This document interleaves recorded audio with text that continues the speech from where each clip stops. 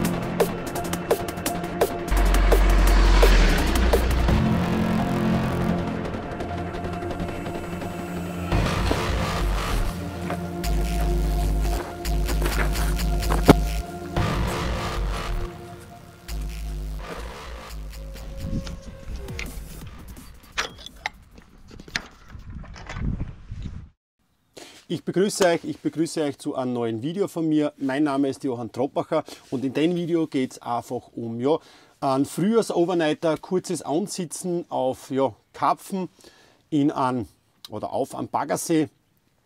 Und ihr seht schon, äh, das Angeln, was ich jetzt gerade im Moment praktiziere, ist richtiges Luxusangeln, denn das bin ich eigentlich auch überhaupt nicht gewohnt, dass ich sagen kann, ich setze mich jetzt einfach da in meinen Bus und kann von meinem Bus aus angeln ist eigentlich in den letzten Jahren einer der ja, schöneren Aspekte vor mir geworden, wenn es die Möglichkeit ergibt.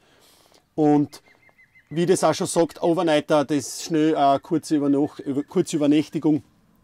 Um die Jahreszeiten, wenn es noch relativ frisch ist draußen, bin ich schon mal sehr, sehr froh, dass ich genau zwei Sachen nicht brauche. Und das ist ein Zelt aufbauen oder ein Shelter oder ein Schirm und dass ich kein Schlauchboot mitzahlen muss.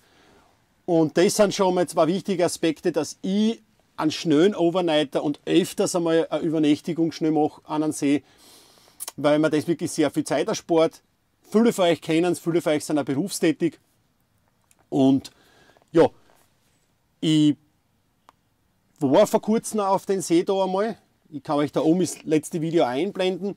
Und ja, ich habe einfach da mal über den Tag probiert, einfach einmal kurz Ansitz über den Tag. War leider nicht so von Erfolg gekrönt, bis auf eine große Praxen ist nicht viel gegangen. Liegt aber sicher auch noch immer an der Wassertemperatur, denn wie gesagt, die Schottergrube ist relativ tief, plus 12, 13 Meter derzeit vom Wasserstand und ihr könnt euch schon vorstellen, die Schottergruben brauchen im Frühjahr etwas länger, wenn sie so tief sind.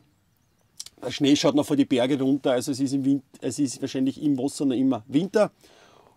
Und deswegen habe ich mir nachher jetzt auch gedacht, siehst, äh, ich muss das jetzt einfach kurz nachher einmal probieren, ähm, über Nacht einmal zu gehen, weil ich denke jetzt auch mit der letzten oder mit dem Vollmond, was wir heute in der Nacht auch gehabt haben, dass die Fische sich vielleicht eher in die Fressphasen auf die Nacht konzentrieren. Habe auch von meiner Futtertaktik, Futterstrategie jetzt da umgestellt und die Motion ist aufgegangen oder das Marshall ist richtig schön aufgegangen. Ich habe einen richtig guten Fisch vom See jetzt da vor knapp einer Stunde erwischt, also auch in der Morgenstunde raus und habe ja, eine richtige Freude, weil es ein wirklich ein schöner Fisch ist. Und wie ich jetzt zu dem Fisch gekommen bin und wie die ganze Taktik aufgegangen ist und was ich gemacht habe, das zeige ich jetzt da direkt gleich am Wasser. Leicht angeist ist auch alles wieder. Aber jetzt wird es langsam schon endlich etwas wärmer am Wasser. Und ihr seht schon, ich bin sehr, sehr klar aufgedeckelt wieder. Das ist natürlich auch so wie ja, für Kurzansitze schnell, weil ich nicht einmal 20 Stunden Zeit habe. Konzentriere ich mich natürlich auch immer wieder darauf, dass ich wirklich nicht so viel Zeug mitzahle. Wie ihr vielleicht auch schon im vorigen Video gesehen habt, habe ich diesmal umgestellt. Diesmal habe ich meine Wurfrouten mit, aber ich will diesmal viel genauer ablegen, vor allem weil ich ein bisschen länger und einfach Nachtzeit habe. Da will man einfach oder will ich einfach meine Routen wirklich so optimal präsentiert kriegen wie nur möglich und habe diesmal mein Futterboot mitgenommen. Futterboot ist natürlich ein Luxus. Das Modell, was ich da jetzt verwende, blende ich euch wieder oben ein. Da möchte ich jetzt gar nicht genauer drauf eingehen, außer dass es ein Echolot hat und dass ich genau da jetzt gezielt perfekt einfach meine Spots anangeln kann und auch genau jetzt da für mich wieder das Spots getroffen habe, was ich beim vorigen Video auch angeworfen habe. Ich werde nachher da immer oft gefragt wegen meinem Setup.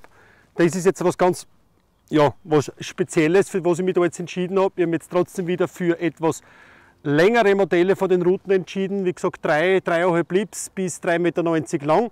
Da ich einfach, wie gesagt, die Möglichkeit habe, weil ich kein Boot habe, dass ich, die, dass ich ein bisschen Druck aufbauen kann, dass ich Fische auch da herkriege. Oder dass ich die Fische wirklich da herziehen kann, dass ich es wirklich von gewissen Hindernissen, wo ich weiß, die, was da drinnen auch versteckt sind in dem See, äh, weghalten kann und dass ich auch ein bisschen gegensteuern kann. Wie gesagt, ganz wichtig ist für mich jetzt, dass ich einfach meine ganzen Schnüre einfach einmal absenke, weil dann bin ich einfach einmal vom Wind geschützt. Und ganz wichtig ist, vor allem auch von meinem Boot, sicher hat es einen Fang unten, dass ich nicht also an, an, an, an Propeller ja, wie soll man sagen, Schutz vor Kraut und auch vor meinen eigenen Schnüren. Weil, wie gesagt, ihr könnt euch das schon vorstellen, man fährt da einer, die Schnur liegt kurz am Wasser auf, du fährst mit Futterboot zurück und ja, radierst die eigene Schnur an. Ich mache es immer so, ich setze ab, schalte das Futterboot nicht aus, aber ich lasse es einfach mal stehen, mache die Route fertig, wie gesagt, schaue, dass ich auf Spannung gehe, dass ich die Schnur unter Wasser kriege, setze, wie gesagt, in Absenker und klipp dann ein. Dann bin ich einfach auf der sicheren Seite, fahre mit dem Futterboot rein, versorge das Futterboot. In der Zwischenzeit macht der Hänger sein, ja, sein Job.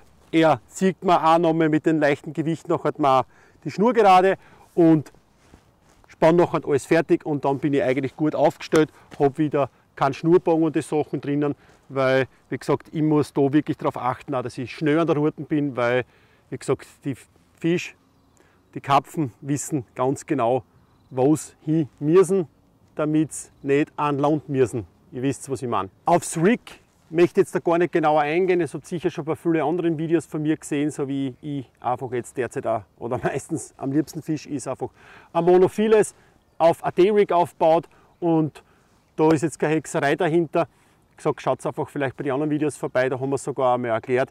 Und genau, wie gesagt, kommt zu mir mit, ich zeige euch da jetzt noch ein paar Tipps zum Futter, was ich beim Futter oder was ich und wie ich das Futter da jetzt auch eingesetzt habe.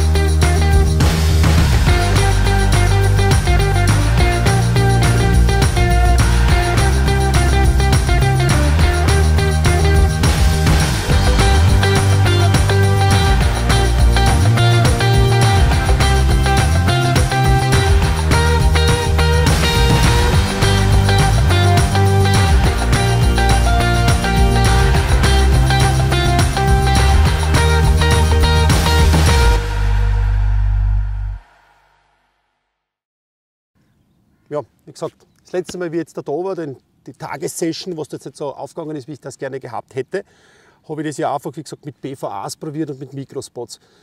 Diesmal habe ich die ganze Sache jetzt aber umgestellt und habe schon gewusst, was mir jetzt da erwartet am Wasser. Und habe mir nachher gedacht, naja, ich gehe jetzt da von die Kugeln weg und ich muss noch kleiner werden. Und das habe ich auch so gemacht. Wie gesagt, ich habe jetzt einfach Tigernüsse hergenommen und bin auf, mit einer Tigernuss auf 8 mm Bob ist zurückgegangen, also wirklich Ganz, ganz klar und fein.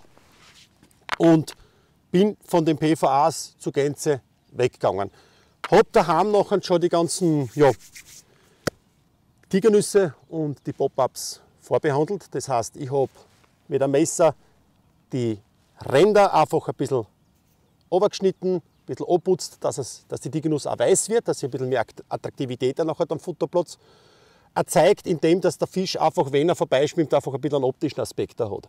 Zusätzlich habe ich die ganze Sache noch ein paar Tage vorher, exakt zwei Tage vorher, einfach einmal, schaut jetzt nicht so geschmackig aus, einfach in einen Tipp einfach eingelegt, dass, wie gesagt, am Spot nachher noch einmal richtig, richtig, der Hookbite einfach richtig, richtig ähm, Power hat. Und ich bin jetzt da auch umgestiegen und habe diesmal auf Mehle zurückgegriffen und wieder auf Mikropellets und habe auch die Spots, wie gesagt, auch ein bisschen vergrößert. Mikropellets, 2 mm Pellets und ein bisschen größere Pellets zusammengemischt, ein paar Boilies eingekranscht, meine toten Maden wieder dazu und ja, habe nachher meine, ja, mit dem Futterboot, das hat ein Echolot dabei, meine Spots nachher abgelegt auf 8 Meter, 6 Meter und auf 3,5 Meter. Ich wollte eben wieder auch schauen, äh, verschiedene Tiefen, dass ich verschiedene Ebenen auch wieder anangeln kann, weil ich die Fische schon so vermutet habe, dass die Fische nicht mehr ganz unten am Grund stehen. Und da hinten ist jetzt gerade wieder Fisch aufgegangen, das ist direkt auch auf meinen Spot, auf der ersten Routen da hinten. Ähm, ja, vielleicht kriegen wir noch ein Biss, das wäre noch schöner.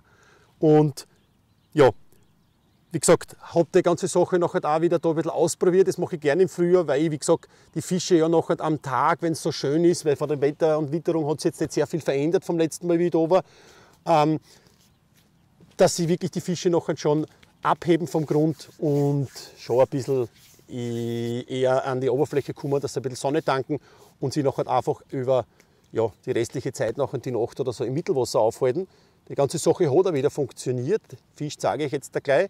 Wie gesagt, eben der Fisch ist auf 3,5 Meter gekommen und ich habe genau deswegen auch jetzt da, um das Futter für mich da jetzt einfach für euch auch zu erklären, warum ich das verwendet habe, indem wenn ich mit dem Futterboot rausfahre und ich lasse es ab, also den Haken und mein Futter, will ich, dass das Futter nachher wirklich, wenn es runterrieselt oder wie gesagt konisch runterfällt, dass es richtig staubt.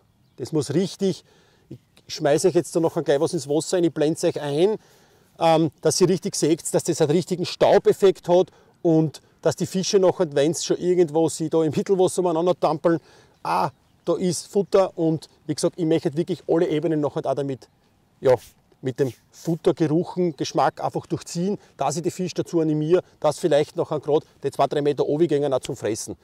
Und genau, ich habe unter anderem auch, was ich sehr gerne nachher auch mache, tue ich teilweise noch halt Dips und Liquids in das Staubfutter rein.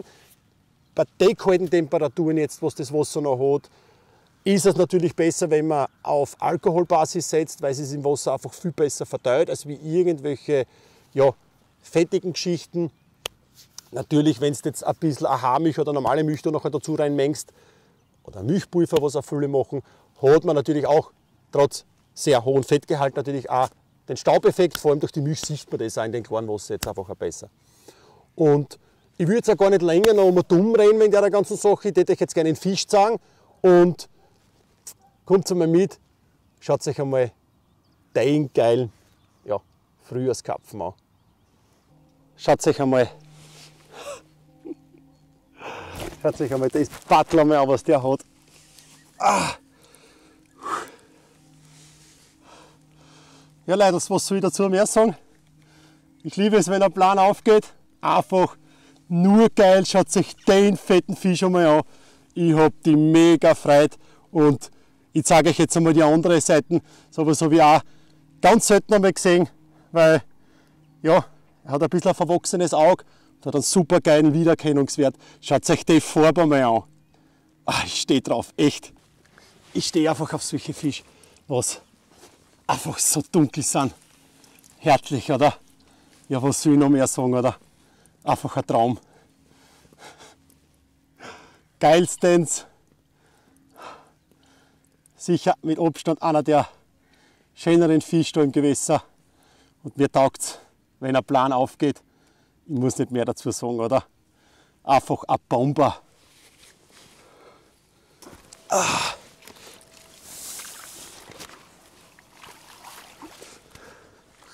Ich brauche nicht mehr dazu sagen. Schaut mal. Und fort ist er. Ja.